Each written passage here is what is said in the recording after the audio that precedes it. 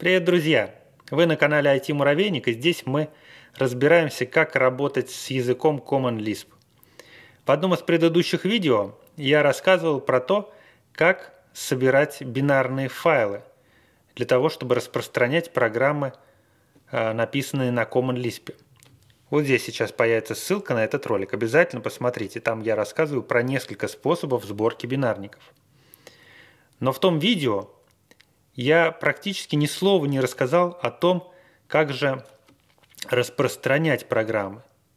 И вот сегодня я хочу как раз сделать небольшой обзор на утилиту, которая позволяет распространять ваши Common Lisp программы среди пользователей операционной системы OS X.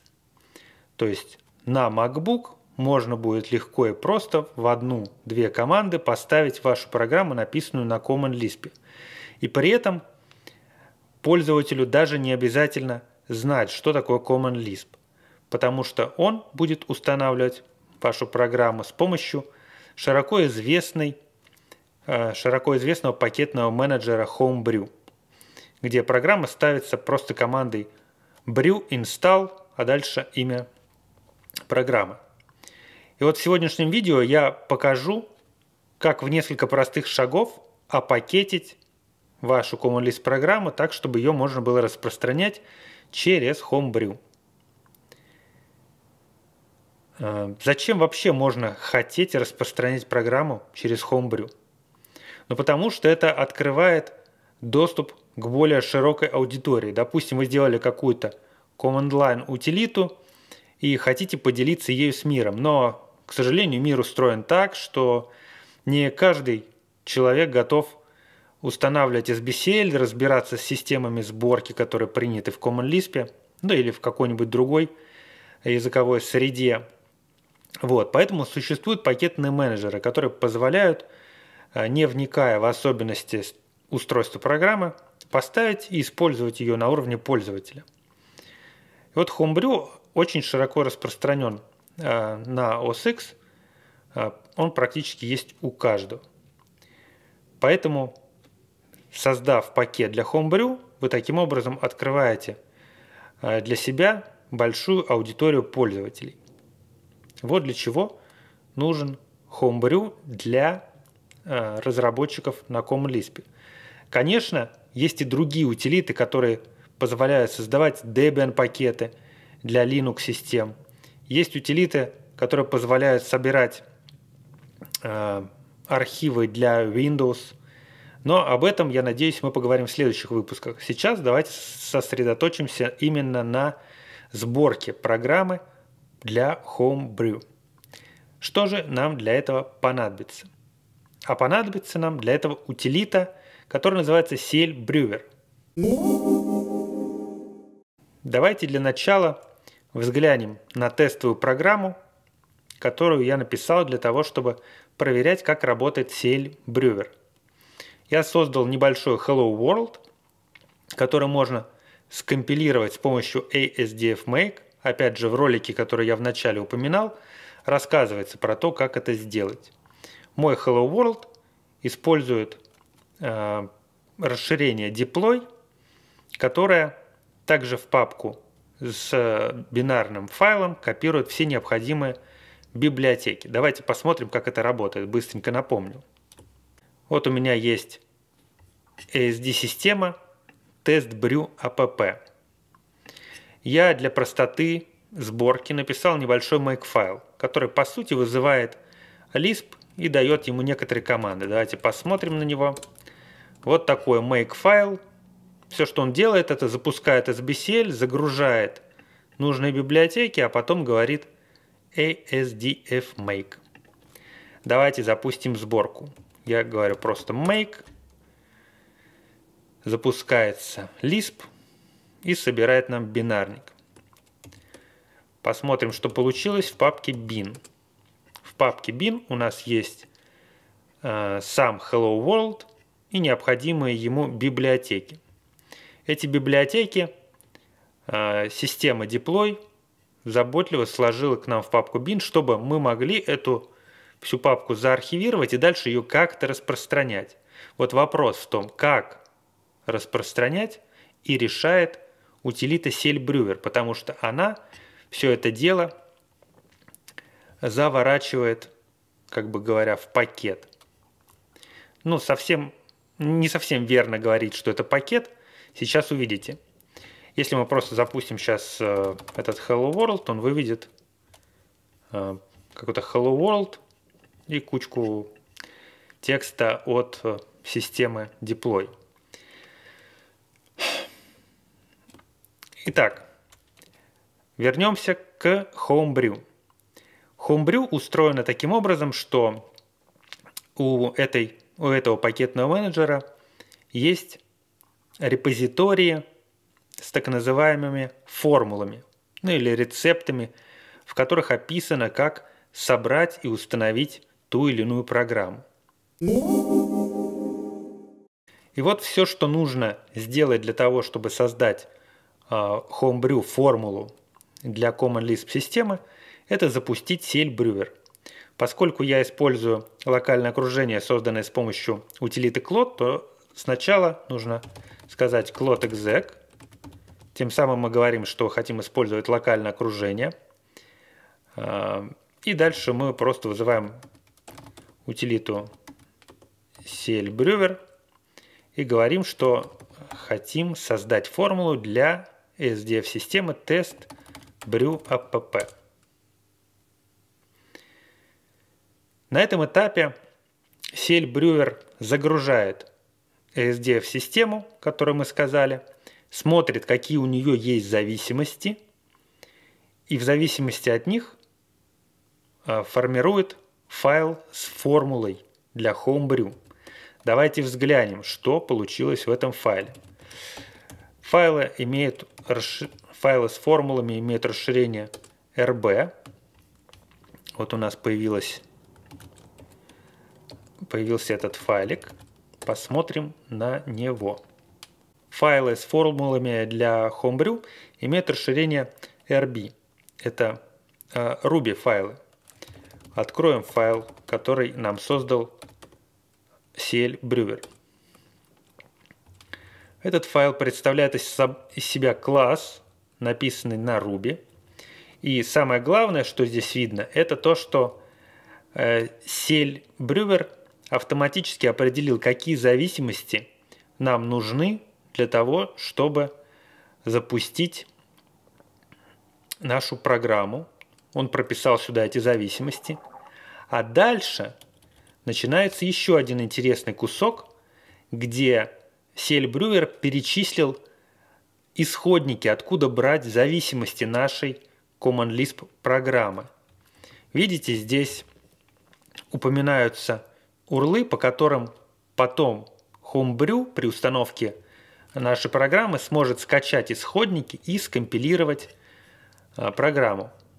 При такой компиляции поскольку здесь используются прямые урлы, а, для сборки не нужен будет QuickLisp, потому что а, Homebrew скачает эти файлы и распакует их, а дальше будет сборка совершена с помощью самого ASDF. Вот в этом кусочке как раз в формуле и описано то, как будет происходить сборка – то есть сначала загрузится SDF, потом загрузится вспомогательная система, после этого запустится SDF Make, который соберет нашу программу. Ну а после еще идет несколько команд, которые подготавливают э, файлы к тому, чтобы они были задеплоены, э, развернуты с помощью Homebrew. Давайте попробуем запустить эту сборку локально. Для этого я вернусь в начало файла и вот здесь заменю эту строчку, которая указывает, что нам нужно качать программу с GitHub. Я заменю ее на вот такие локальные команды, которые говорят о том, что нужно использовать э, текущую директорию для сборки. Выходим из Vim. Теперь нужно обязательно все изменения закоммитить. но у нас изменений нет. После этого мы можем запустить сборку программы с помощью Homebrew. Я запускаю ее в режиме отладки с ключом debug и говорю локальное имя формулы. Теперь Брю будет некоторое время качать исходники, затем компилировать программу.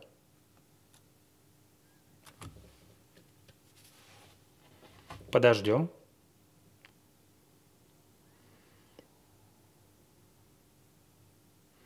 Таким образом мы проверяем, что сборка программы работает. Вот тут видно, что SBCL собрал экзешник. Дальше Брю еще какие-то свои команды поделал. Что ж, сборка прошла успешно. Вышел с кодом 0. Теперь у нас должна быть в системе команда тест brew app. Я ее запускаю, а она выводит ожидаемо наш hello world. Откуда же она запускается? Об этом скажет команда which. И мы видим, что эта утилита установилась в папку bin внутри Homebrew. Если мы посмотрим на нее, то обнаружим, что это Symlink. Symlink на директорию Celler, куда, в общем-то, и скомпилировалась программа. Если зайти в эту директорию, то мы должны увидеть, что там есть папка bin. И даже какая-то редмишка есть. Redmi пустая.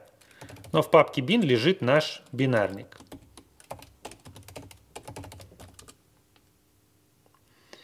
Вот он наш Hello World.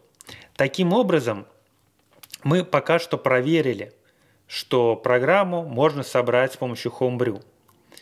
Теперь же нам нужно сделать так, чтобы то же самое могли сделать и пользователи, э, которые найдут вашу программу в интернете. Для этого нужно разместить формулу где-то на GitHub. Сейчас я покажу, как это делается. Вернемся в нашу директорию, где лежат исходники программы. Она у меня уже э, есть на GitHub. Она лежит на GitHub. Вот в этом репозитории. Теперь, поскольку я как бы сделал, предположим, я сделал новую версию программы, вот, и мне нужно поправить ее версию, во-первых.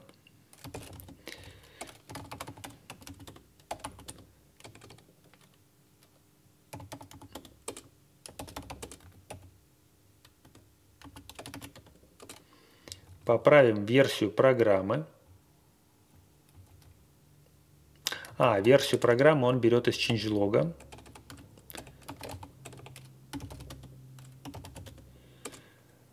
Версия программы берется из changelog. Добавим сюда новую версию 0, 2, 0, 2023, 07, 15. Какой-то там апдейт.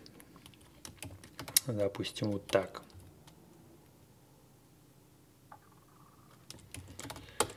Все, сохраняем.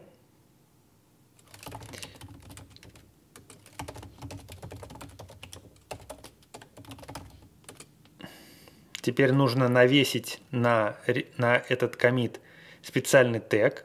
По комиту GitHub создает targz архив с исходниками вашей программы, а Homebrew потом сможет этот архив скачать.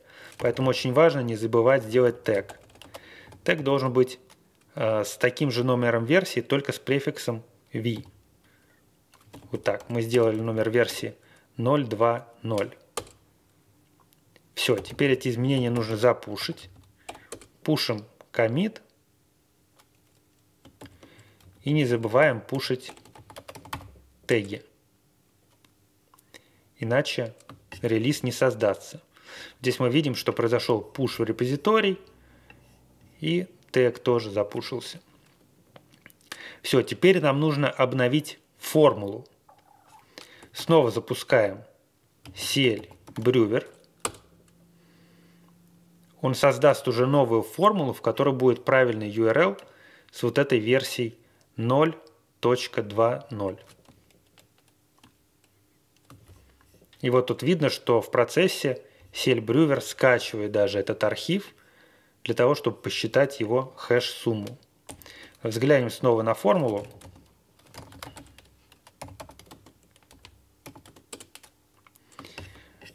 Убедимся, что формула правильная. Тут у нас используется правильная версия. Все, теперь эту формулу нужно опубликовать. У меня есть специальный репозиторий, в котором я собираю формулу всех своих проектов. В Homebrew это называется словом tab. Такой как бы сторонний репозиторий с программами. Поэтому я возьму эту формулу, возьму эту формулу и скопирую ее в Homebrew Soft формула.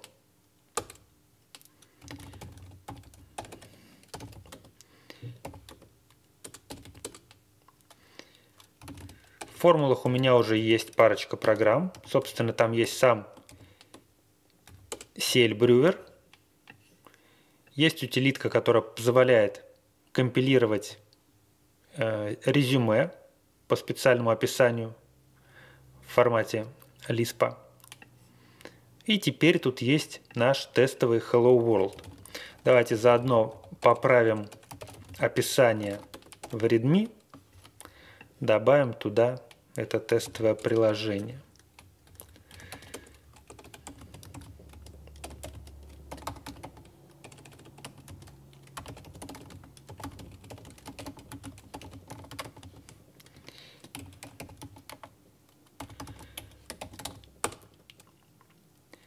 Все. Добавляем файл с формулой в git.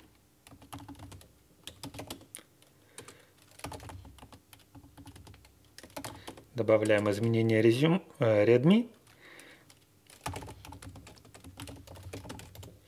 Коммитим.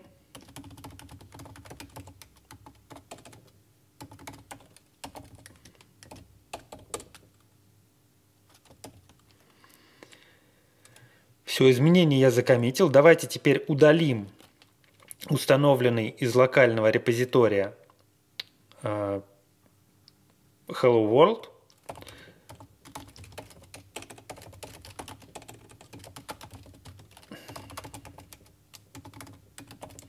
Удаляем его.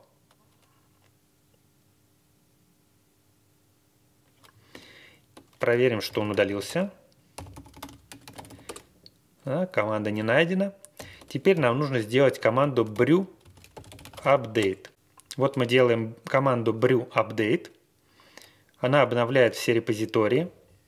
В частности, например, вот она написала, что нашла новую формулу Тут она пишет сначала название тапа, а потом название формулы, которую мы добавили. Теперь я могу попробовать установить эту программу уже из тапа, а не локально. Просто делаем brew install test brew app. И теперь brew точно так же должен скачать нашу программу, все ее зависимости, скомпилировать это дело с помощью SBCL – и наш Hello World будет установлен стандартное для Homebrew место. Точно так же может поступить любой пользователь. Ему достаточно сделать всего две команды. Первую команду он должен сделать для того, чтобы добавить в Homebrew ваш собственный таб, а второй командой он может установить уже программу. Вот она установилась. Проверим, что все работает. Да, наш Hello World запускается. наш Hello World запускается. И вот здесь Брю пишет, что он устанавливает ее из тапа 40 Ants Soft. Если мы посмотрим на readme этого репозитория, то тут есть как раз вот эта команда, которая добавляет в Homebrew Tab и пример того, как установить из тапа какой-нибудь софт. Вот и все. Все, что нужно для того, чтобы вы могли распространять свои программы среди пользователей macOS. Пожалуй, я поищу еще другие пути, которые позволят делать сборки и распространять программы под Windows и популярный Linux. Но это уже тема следующих видео. Если вы знаете какие-то хелперы, которые помогают собирать Common Lisp софт под другие операционные системы, обязательно внизу в комментариях напишите об этих утилитах, я постараюсь их потестировать. Итак, мы посмотрели на все шаги, которые нужно сделать для того, чтобы э, сделать вашу Common Lisp программу доступной к установке на OS X с помощью пакетного менеджера Homebrew. Надеюсь, вам это видео оказалось полезным. Если вы знаете какие-то утилиты, которые позволяют легко и просто собирать пакеты под другие операционные системы, обязательно оставьте внизу ссылочки в комментариях. Я постараюсь их посмотреть и, может быть, сделаю еще выпуски и про другие операционные системы. А с вами был Александр Артеменко и канал IT Муравейник. Всем лиспа в ваши сердца. Пока!